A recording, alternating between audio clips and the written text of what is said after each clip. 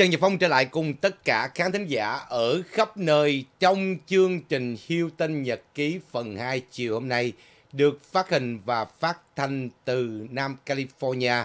Trước hết cảm ơn tất cả bạn bè khán giả ở khắp nơi đã chọn channel của Phong để theo dõi các bản tin hàng ngày, các bài nói chuyện, phân tích, đối chiếu, so sánh trên tinh thần chủ quan của Phong cũng như là phần thảo luận của tất cả chúng ta sau mỗi một bản tin. Cảm ơn mọi người rất là nhiều. Và như thường lệ, mỗi buổi chiều vẫn có hai đề tài liên quan tới thời sự. Và đề tài thứ hai vẫn là mối quan hệ giữa Hoa Kỳ và Trung Quốc trong việc mà Bộ trưởng Quốc phòng của Hoa Kỳ và Trung Quốc gặp gỡ nhau ở tại Siem Reap, Campuchia trong cái diễn đàn của các bộ trưởng của khối ASEAN, tức là Hiệp hội các quốc gia Đông Nam Á. Quý vị, chúng ta đi vào bản tin trước xem là tin nói cái gì rồi sau đó chúng ta sẽ phân tích xem là liệu cái à, mối quan hệ của Hoa Kỳ và Trung Quốc có được cải thiện hay không hay mỗi lúc sẽ một căng hơn và nóng hơn.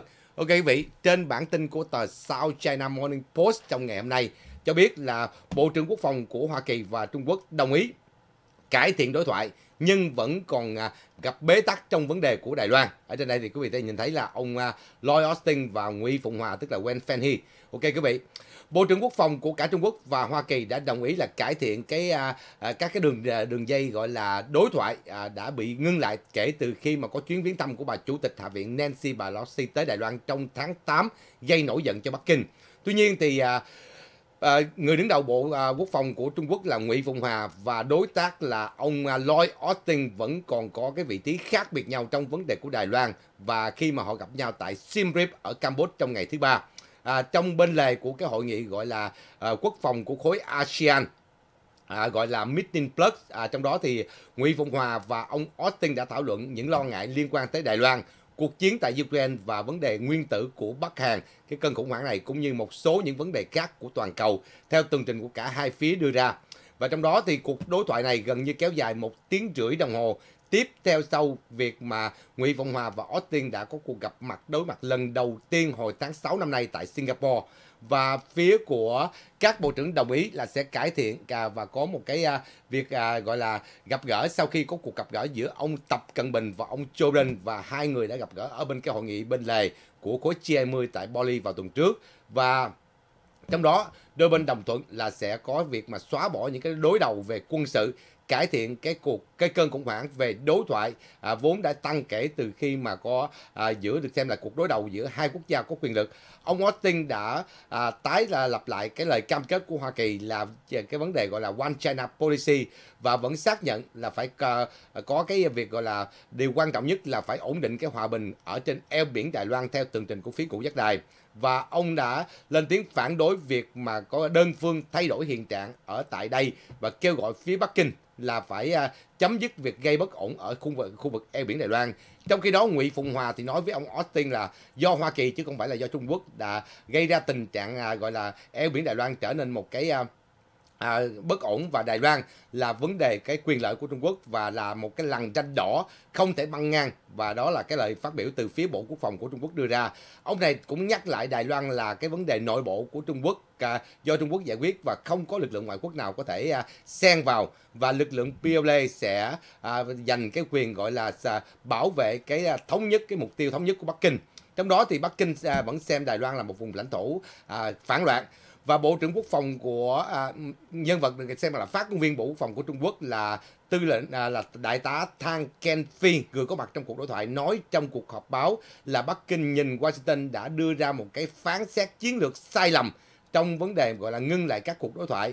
Và các nhà phân tích nói rằng à, giữa Bắc Kinh và Washington trong cái khu vực này à, đặc biệt là eo biển Đài Loan vẫn tiếp tục có những cái đám mây mà à, trong cái mối quan hệ quân sự của họ. Và phía à, đặc biệt là phía đảng cộng hòa ông Kevin McCarthy à, đã tuyên bố là sẽ viếng thăm đảo quốc tự trị này à, tương tự như bà Pelosi và khi trước khi nếu như ông trở thành cái à, chủ tịch của Hạ viện và Du Chen Ming một nghiên cứu gia của cái viện à, nghiên cứu khoa học quân sự Yongwan à, Technology một cái tổ chức à, chiến lược ở tại Bắc Kinh nói rằng à, giới quốc phòng của Trung Quốc vẫn tiên đoán là sẽ có những cái à, lo ngại các cái hành động của Hoa Kỳ ở khu vực.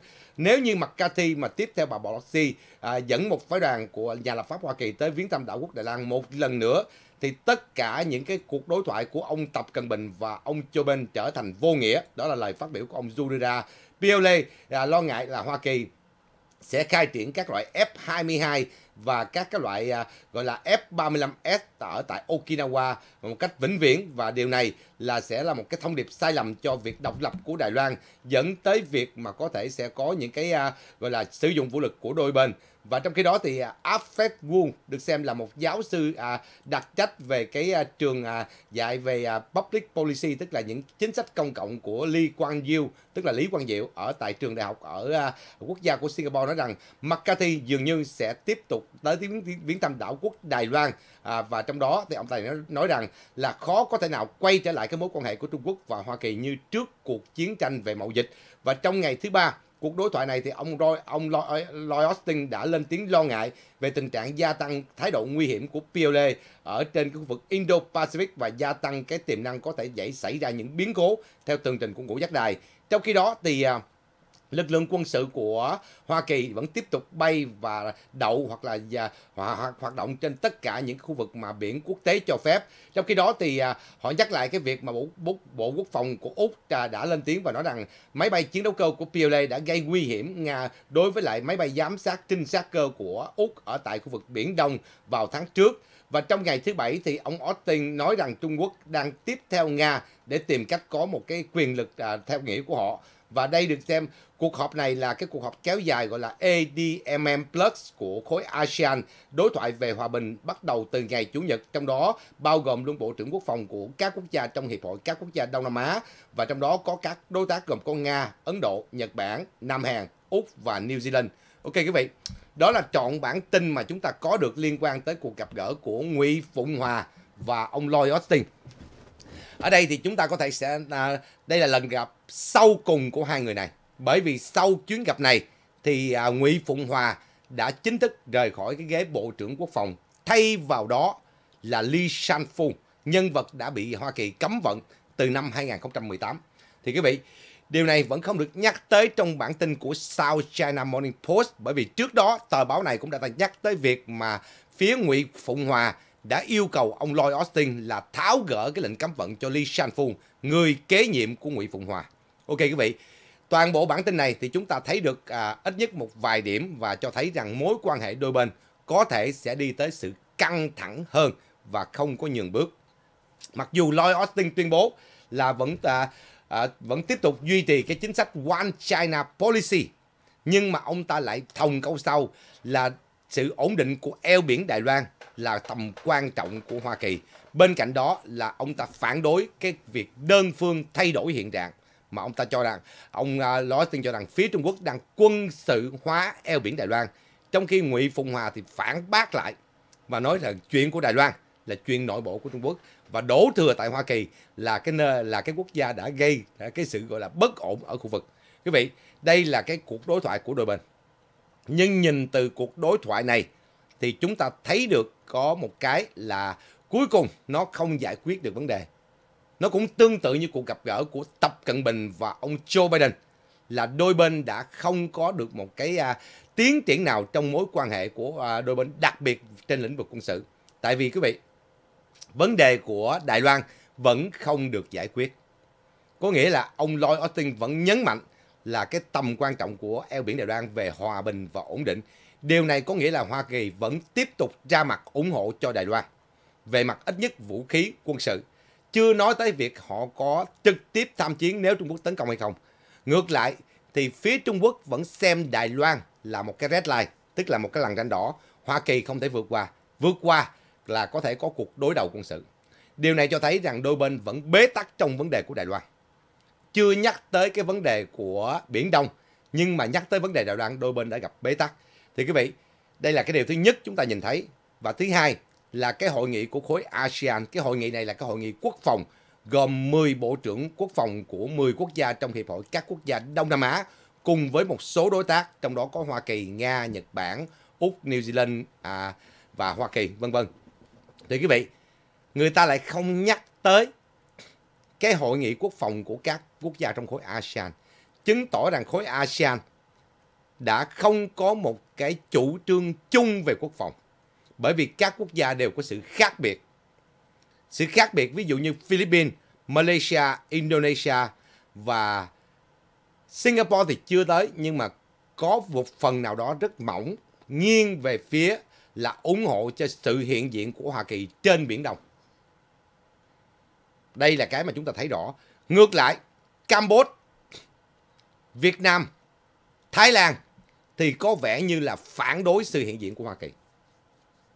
Việt Nam thì sau cái chuyến đi của Nguyễn Phú Trọng gần như là họ có cái thái độ là không muốn Hoa Kỳ có mặt ở trên Biển Đông.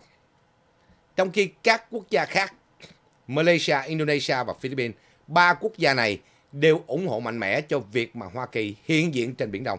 Đặc biệt là Philippines, là cái nơi thường xuyên có cuộc đối đầu với lực lượng hải giám và lực lượng hải quân của Trung Quốc, kể cả dân quân ngư phủ của Trung Quốc.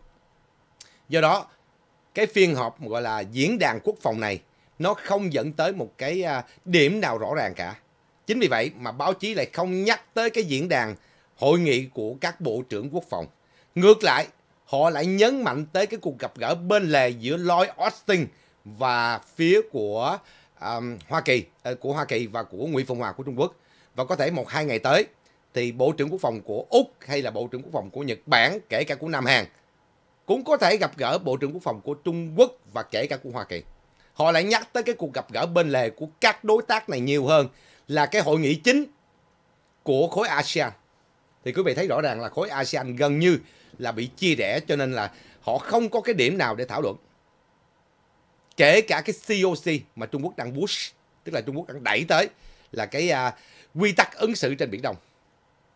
Tức là cái uh, Code of Conduct. Thì quý vị, điều đầu tiên chúng ta nhìn thấy là sự đối đầu của Hoa Kỳ và Trung Quốc vẫn cụ thể rõ ràng. Đặc biệt là Hoa Kỳ còn nhắc lại cái chuyện mà máy bay trinh sát cốt đã bị chiến đấu cơ của Trung Quốc gây khó khăn và nguy hiểm ở trên Biển Đông.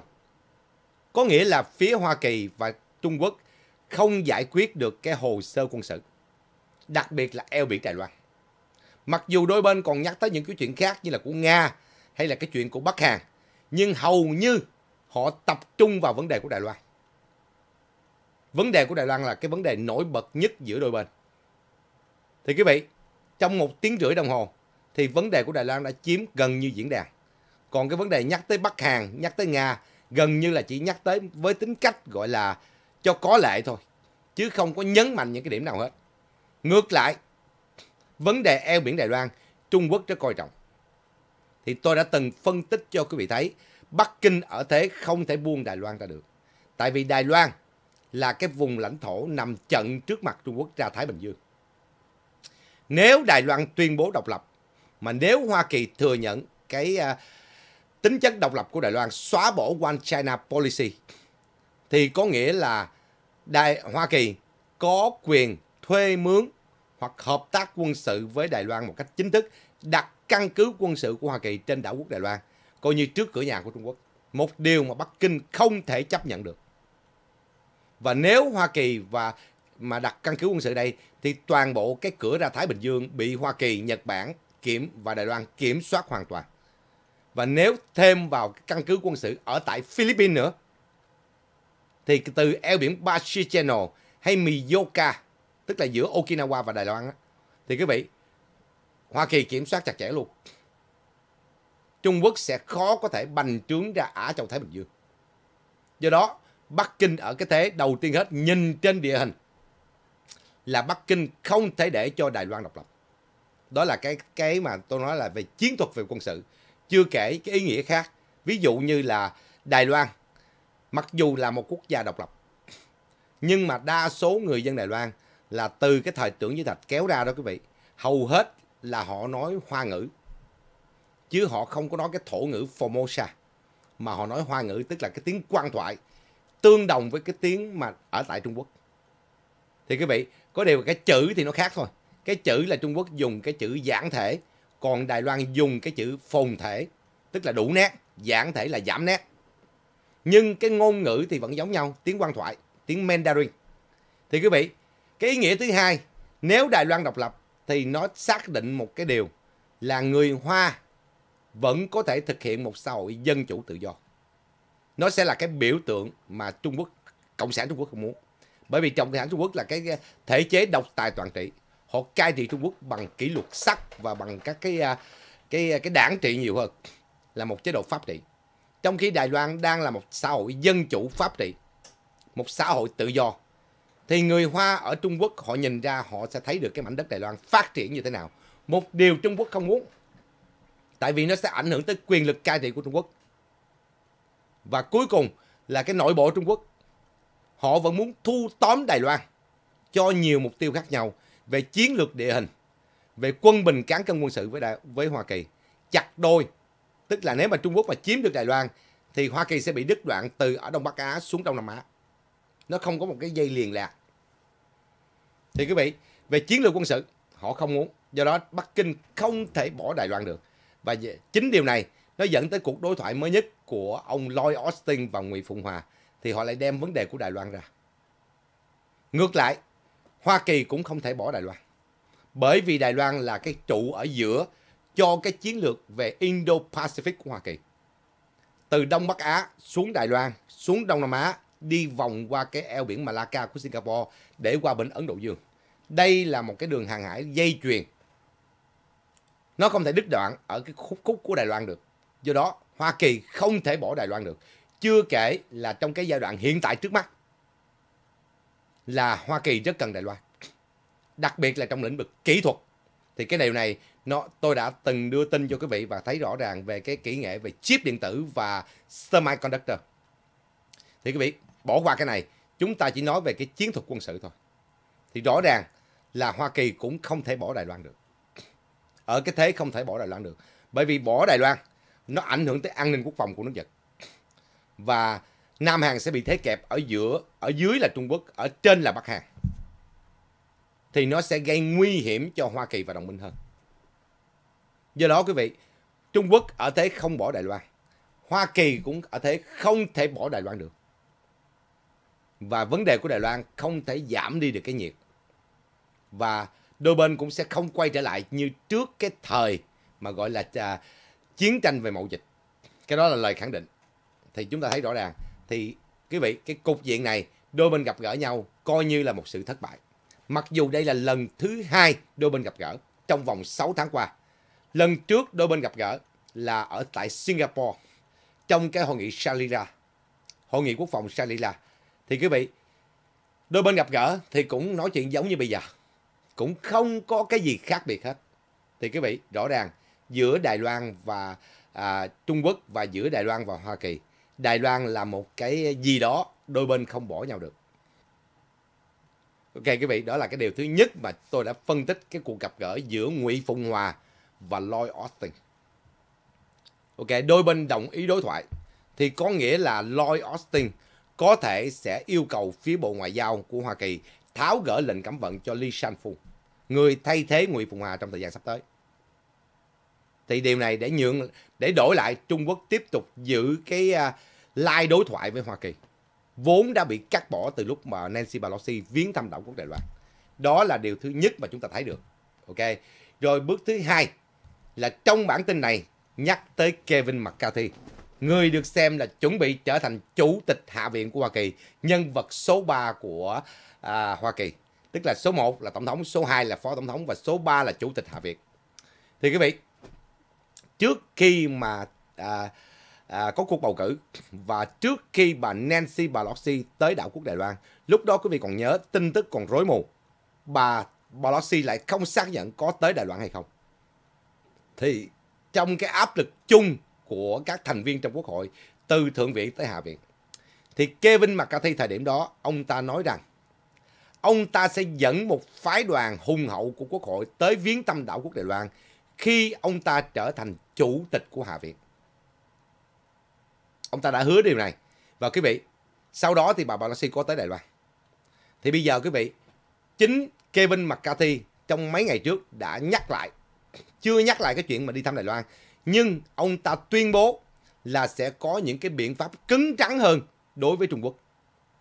Và vấn đề của Trung Quốc sẽ được đưa lên trong cái phiên họp đầu tiên tại Hạ viện khi ông ta trở thành chủ tịch của Hạ viện.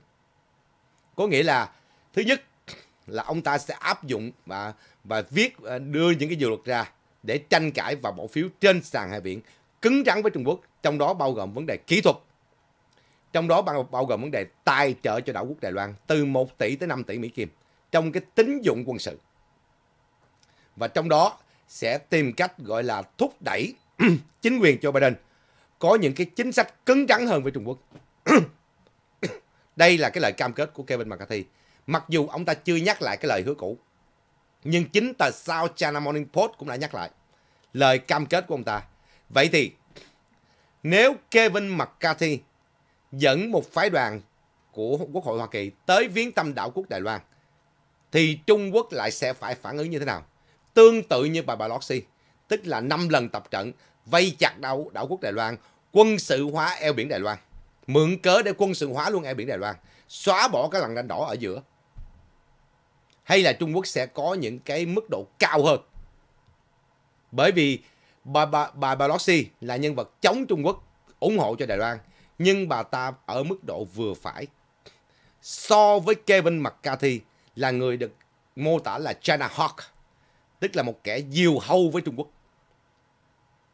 Và chính nhờ cái thái độ diều hâu của Kevin McCarthy và rất nhiều thành viên của đảng Cộng Hòa mà họ đã thắng được cái quyền đa số trong Hạ viện. Quý vị, do đó Kevin McCarthy ở thế là càng lúc càng diều hâu hơn. Và khi mà ông ta tới đảo quốc Đài Loan để thăm viếng, thì Trung Quốc phản ứng tương tự như bà Pelosi hay sẽ tăng cường mức độ hơn. Và Trung Quốc có giật dây bắt hàng Nga, có nghĩa là mà tạo ra những cái sự chú ý nhiều hơn để mà phân hóa Hoa Kỳ hay không? Câu, cái điểm này chắc chắn có. Nga có thể sẽ mở rộng cuộc chiến ở Ukraine, hoặc là tấn công ráo riết hơn ở Ukraine. Bắc Hàn sẽ tiếp tục thử các loại vũ khí bao gồm luôn cả vũ khí nguyên tử để chia cái uh, chi phối Hoa Kỳ. Thì lúc đó quý vị Joe Biden sẽ phải ứng xử như thế nào? Với bài Pelosi thì Joe Biden không dám bởi vì bà là đồng minh của Joe Biden ở Hạ Viện. Ông ta không dám against bà Pelosi. Nhưng mà Kevin McCarthy là bên đảng Cộng Hòa. Vậy thì Joe Biden có cản trở chuyến đi của Kevin McCarthy hay không? Câu trả lời chúng ta vẫn chưa biết. Bởi vì trên nguyên tắc, Kevin McCarthy đã tuyên bố là ông ta sẽ buộc chính quyền Joe Biden cứng rắn hơn với Trung Quốc. Và để thực hiện điều này, thì cái chuyến đi Đài Loan không tránh khỏi. Có điều, nó xảy ra trong giai đoạn nào của năm tới thì chúng ta chưa biết. Bởi vì khi bắt đầu nhận chức chủ tịch Hạ viện, thì có khá nhiều việc và có khá nhiều những cái dự luật được đưa ra sàn Hạ viện để mà tranh cãi và bỏ phiếu. Thì trong cái giai đoạn từ tháng Giêng cho tới tháng 6 có thể Kevin McCarthy chưa tới viếng thăm Đài Loan. Tại vì có nhiều phiên họp giải quyết những vấn đề đối nội đối ngoại, các cái ngân sách quốc gia vân vân và ưu tiên cho vấn đề mà gọi là khủng hoảng năng lượng và lạm phát. Thì có thể Kevin McCarthy vẫn chưa tới thăm Đảo Quốc Đài Loan từ tháng 1 cho tới tháng 6. Nhưng từ tháng 6 cho tới tháng 10 thì sao? Nhất là tháng 10. Tháng 10, ngày 1 tây tháng 10 là lễ quốc khánh của Cộng sản Trung Quốc. 10 tây tháng 10, đại lễ song thập là quốc khánh của Đài Loan. Vậy thì, cái nếu có xảy ra chuyến đi này, nó sẽ diễn ra từ tháng 6 cho tới tháng 10. Ok quý vị, và khi nó diễn ra như vậy, nếu nó diễn ra, thì cái mức mà huy động cái lực lượng quân sự của Hoa Kỳ để bảo vệ chuyến đi của McCarthy, nó sẽ còn gấp mấy lần so với lại bà Pelosi. Bởi vì trước đó, quý vị nhớ, cái chuyến bay của bà Pelosi từ Malaysia lên trên đảo quốc Đài Loan không bay ngang qua Biển Đông, mà bay vòng qua biển của Indonesia và Philippines để lên Đài Loan, chứ không bay thẳng từ Biển Đông lên. Bởi vì cái vấn đề an toàn. Thì lần này sao quý vị? Bắc Kinh sẽ làm gì? Bắc Kinh sẽ tăng cường mạng lưới quân sự ở Biển Đông, giám sát Biển Đông. Và Bắc Kinh cũng sẽ bắt đầu có những cái thọc gậy xuống khu vực Nam Thái Bình Dương. Thì quý vị, đây là những cái chúng ta dự đoán được nếu Trung Quốc phản ứng. Và đương nhiên, cái phản ứng của Trung Quốc cũng ở mức giới hạn, không dẫn tới một cuộc đối đầu xung đột giữa Hoa Kỳ và Trung Quốc. Bên cạnh đó, Bắc Kinh sẽ tìm đủ mọi cách thúc đẩy cái việc mà phân hóa ở nội bộ Hoa Kỳ để khiến cho Kevin McCarthy liên tục bận rộn và không sắp được cái lịch đi đi Đài Loan. Điều này sẽ là cái điều có, có thể xảy ra. Nhất là cái vây cánh của Trung Quốc ở tại Hoa Kỳ rất đông. Họ có thể sẽ gây rối loạn hoặc là thọc gậy cho những cái cuộc bất ổn tại Hoa Kỳ. Ví dụ có một cái người da đen nào đó bị một người da trắng đánh hay là bắn chết hay cái gì đó thì nó sẽ kích động toàn bộ cái cuộc à, biểu tình gây bất ổn thì nó cũng sẽ cản trở cái chuyến đi của Kevin McCarthy. Tức là Bắc Kinh sẽ làm đủ mọi cách để cản trở chuyến đi này. Để cản trở chuyến đi này.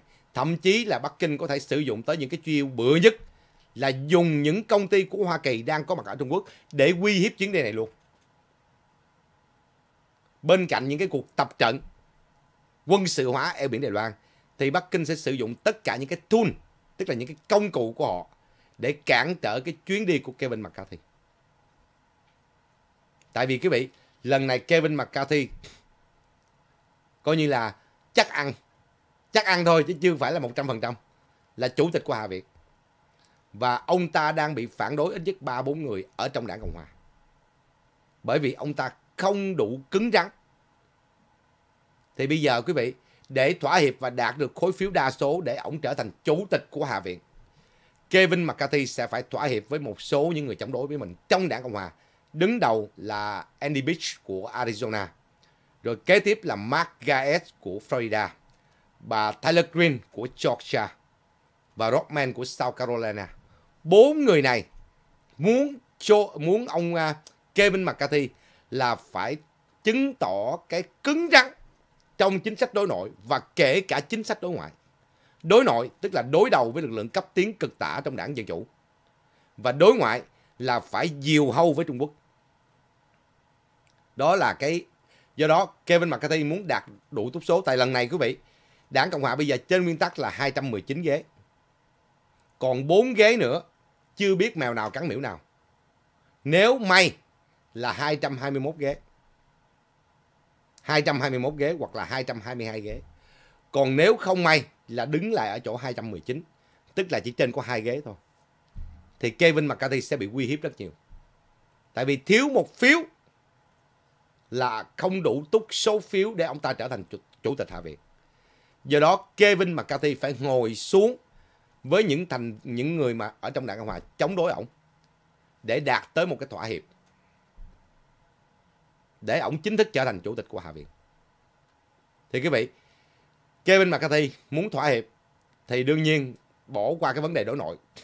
Riêng vấn đề đối ngoại, Tyler Green, Mark Gaetz hay là Andy Bish là những người rất diều hâu với Cộng sản Trung Quốc.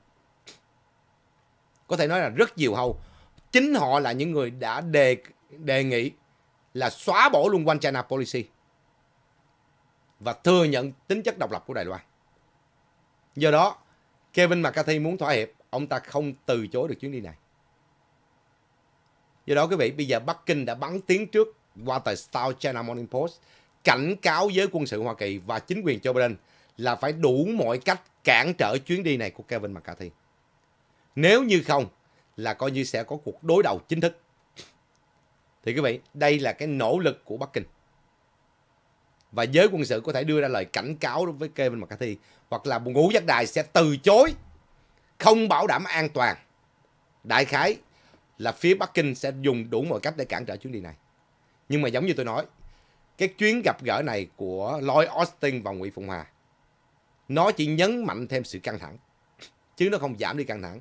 Và sự tác động của Kevin McCarthy, chủ tịch Hạ viện tương lai, sẽ tác động rất mạnh và khiến cho đôi bên càng lúc càng tách rời nhau hơn. Đó là thực tế, ít nhất trong vòng 2 năm này, từ đây cho tới năm 2024. Ok quý vị, đó là cái bài phân tích của tôi cho thấy là Bắc Kinh bắt đầu ngán sợ và tìm cách quậy phá để à, tân chủ tịch Hạ viện của Hoa Kỳ sẽ không tới Đài Loan được. Và đồng thời sẽ dùng áp lực từ phía quân sự bên hành pháp của Joe Biden để cản trở chuyến đi này. Vấn đề còn lại Kevin và McCarthy có quyết định đi hay không? Chúng ta vẫn chưa biết bởi vì ông ta chưa nhắc tới.